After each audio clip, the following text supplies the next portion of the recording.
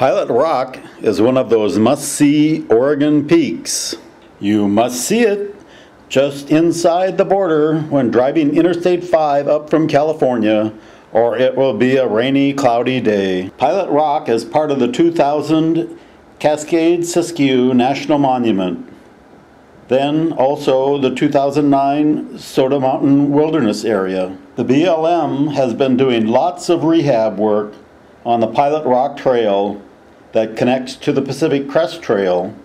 They are doing so much work up there that this guy's arms are too tired to do the customary push-ups I normally see lizards do.